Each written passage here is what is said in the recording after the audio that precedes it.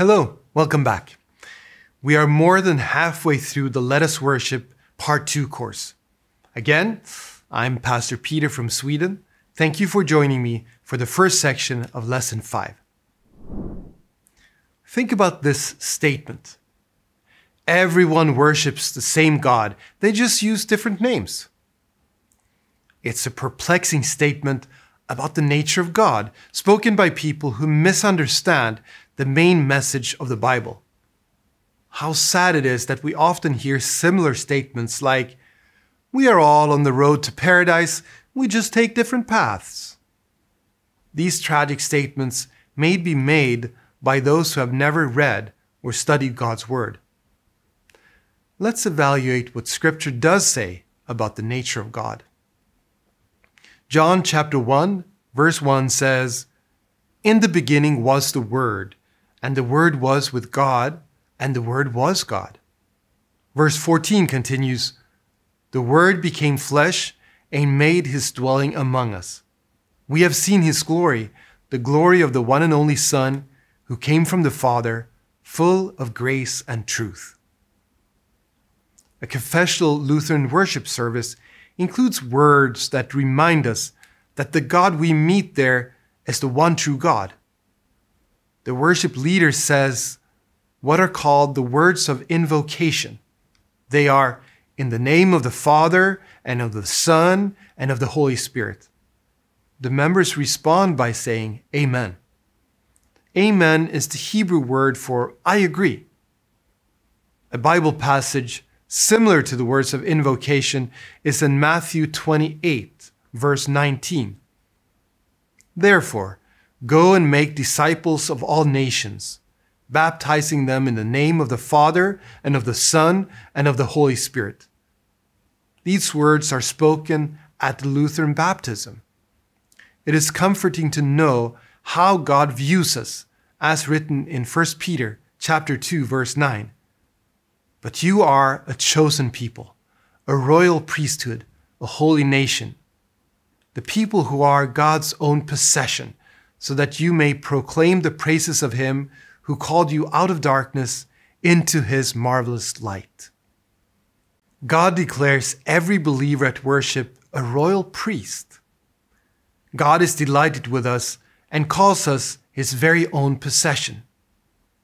God has made us his adopted children, members of a royal priesthood. Yet, we are acutely aware that every day we sin against our Heavenly Father. For this reason, the worship service usually moves immediately to the worship leader, inviting everyone to confess their sins before God. Let's learn more about why there is an emphasis on a confession of sins in our worship service from the words of Psalm 32. Blessed is the one whose transgressions are forgiven, whose sins are covered. Blessed is the one whose sin the Lord does not count against them, and in whose spirit is no deceit. When I kept silent, my bones wasted away, through my groaning all day long. For day and night your hand was heavy on me. My strength was sapped as in the heat of summer. Then I acknowledged my sin to you and did not cover up my iniquity.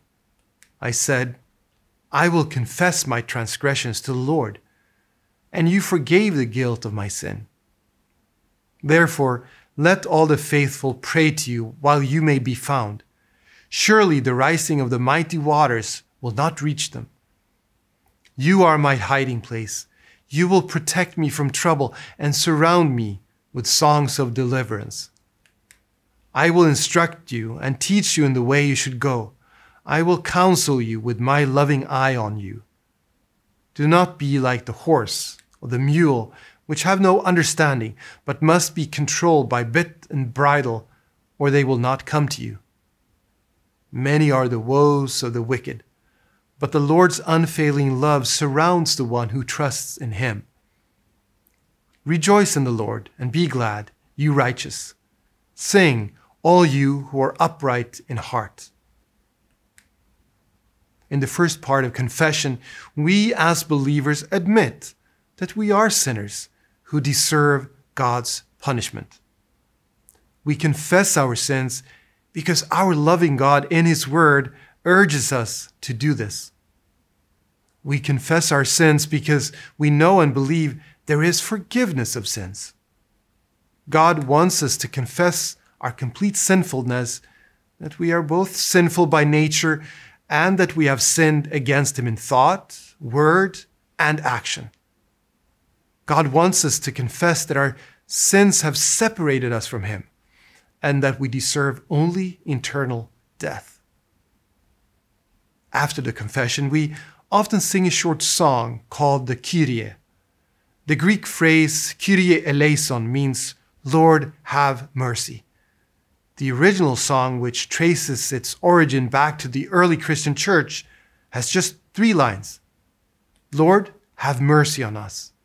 Christ, have mercy on us. And Lord, have mercy on us. These words from the book of Luke reflect on the anguish of the sinful tax collector in the temple. He would not even look up to heaven, but beat his breast and said, God, have mercy on me, a sinner. In this song, as we agonize over our own horrible sins, we humbly throw ourselves upon God's mercy, asking for forgiveness. The second part of confession, usually called the absolution, is hearing comforting words from the pastor or worship leader as he announces God's forgiveness to the worshippers. The worship leader relates the sacrifice of Jesus Christ as the basis for forgiveness. There is meaning behind the words spoken and the actions taken in a confessional Lutheran worship service and all are based on the true God and the true Word of God. Confession means contemplating our words and actions deep in our hearts and souls and recognizing the sins we have committed in our thoughts, words, actions, and omissions. The worship leader's immediate announcement of sins forgiven gives us peace and joy. As Psalm 32, verse 5 says, And you forgave the guilt of my sin. A message we are eager to hear at every worship service. In live class, your TELL instructor will read an example of a confession of sins and the words of absolution for further discussion. Please continue and join me again for lesson six. In the next lesson, we'll continue studying the order of a worship service. Following the announcement of absolution, the forgiveness of sins, we sing words once sung by God's mighty angels. I'm Pastor Peter. I look forward to guiding your continued study. May God bless you.